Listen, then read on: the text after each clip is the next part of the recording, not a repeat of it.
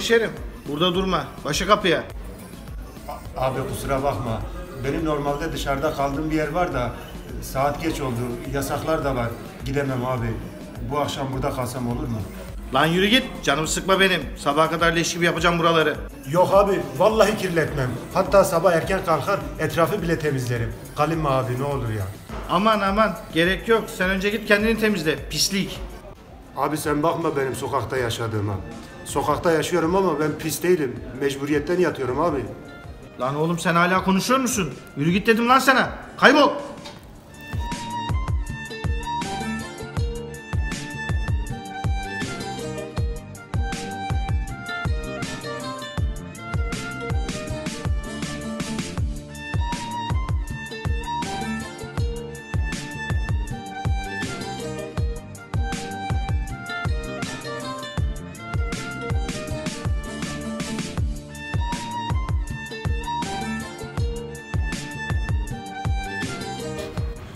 Ne olurdu bıraksaydın orada kalsaydın? Hı?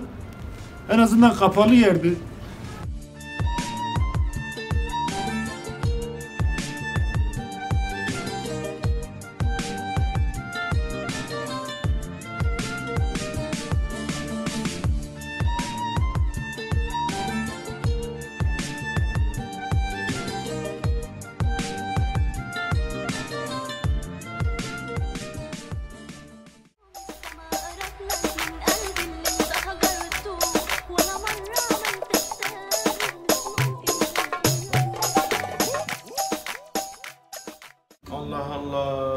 Buralara böyle ya? Tertemiz olmuş.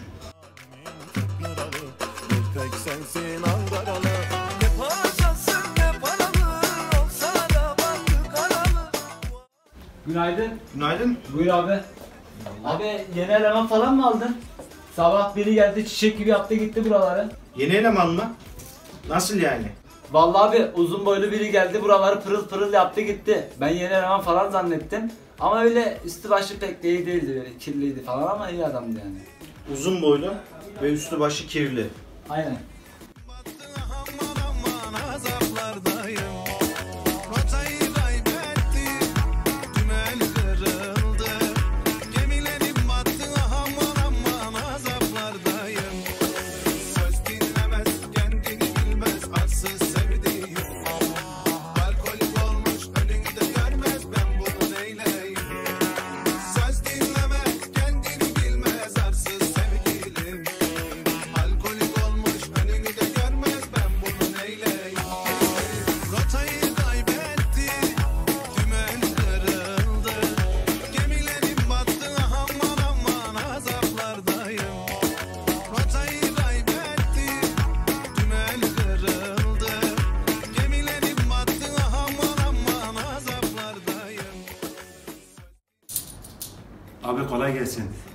Param var.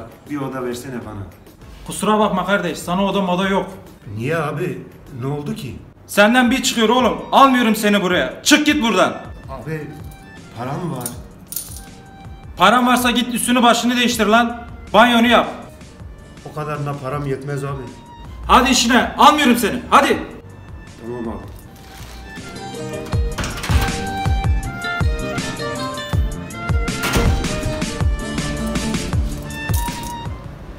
Elbet bir gün benim de param olacak.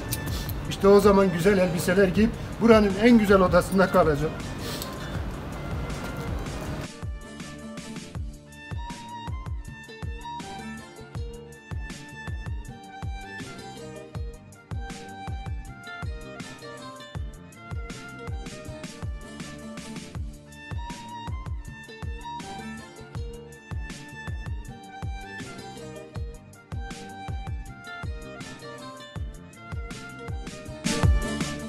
Abi, abi pardon bakar mısın?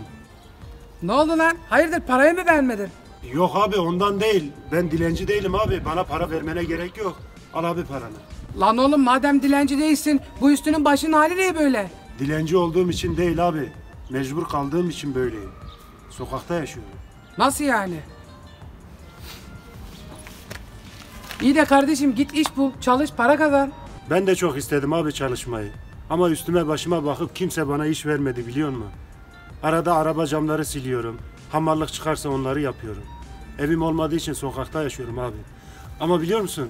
Açık öğretimde okuyorum. Eğer kazanırsam belki bir gün benim de güzel bir hayatım olur. Ne dersin abi? Olur mu? He he olur olur. Ne okuyorsun peki? Bölüm ne? Adalet bölümünü okuyorum abi. Eğer bir gün kazanıp avukat olursam benim gibi olanlara yardımcı olmak istiyorum. Çünkü düşenin halinden çok iyi anlıyorum. Anladım kardeş anladım. Hakkında hayırlısı olsun. Neyse hadi iyi günler sana. Sağ ol abi teşekkür ediyorum. Paran? Çocuk gel gel gel. Al sana para. Al.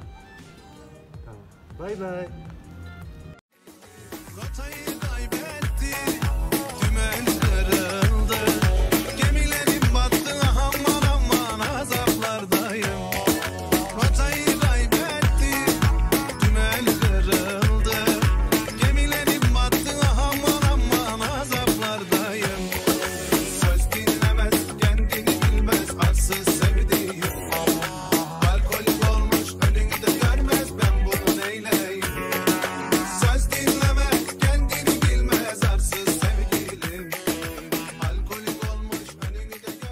Abi kolay gelsin. Ben bunu şurada gördüm de bu sizin mi? Olabilir. Bazen kaçıyorlar. Ver sen onu.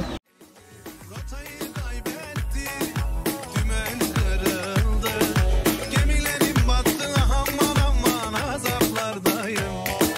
Rotayı kaybetti, Abi senin bilgisayardan sonuçlara bakabilir miyiz acaba?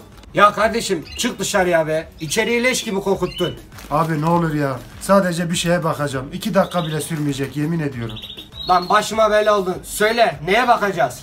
Abi açık öğretim sınavlarına bakacağım ya. Neyse ver bilgilerini ver. Bakalım.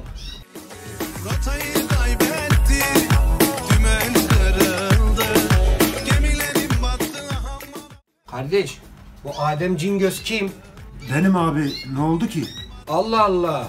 Oğlum adalet bölümünü kazanmışsın. Hem de 450 puanla.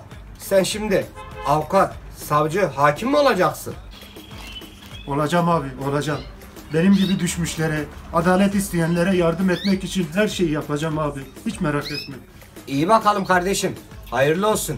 Arada bir uğra buralara. Eyvallah abi. Allah razı olsun. Bana bu güzel haberi verdin. Bunu hiçbir zaman unutmayacağım. Her zaman geleceğim abi. Sağ olasın.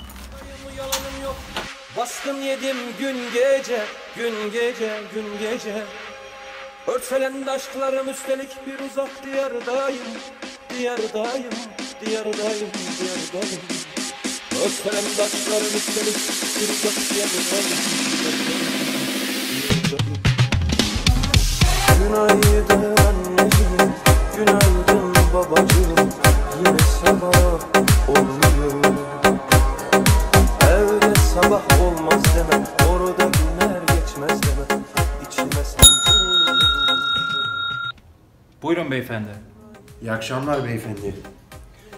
Bir oda istiyorum. Tabii ki. Kaç gün kalacaksınız?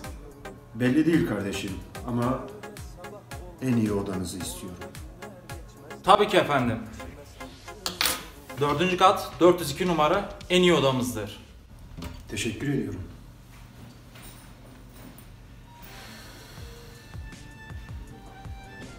Beni hatırladın mı? Hayır efendim. Tanımadım. Daha önce buraya geldiniz mi? Evet kardeşim. Çok gelmiştin. Hatta en son geldiğimde beni kovmuştun. Sokakta yaşadığım ve bitli olduğum için içeri almamıştın beni. Hatırladın değil mi? Hatırladım efendim. Hatırladım. Özür diliyorum. Buraya benden özür dilemen için gelmedim kardeşim. Bitlendiğim için beni kovduğun gün, o gün kendime bir söz verdim. Bir gün en güzel elbiseleri giyip buranın en güzel odasında kalacağım diye. Ben sadece o sözümü tutmaya geldim. Abi, peki ne oldu da böyle toparlayabildin kendini? İnsan olmak yaratılıştan fakat insan kalmak acılardan geçiyormuş. Onu anladım. Doğru söylüyorsun abi. Bu benim kartım kardeşim. Eğer bir gün bir davan olursa seve seve yardımcı olurum.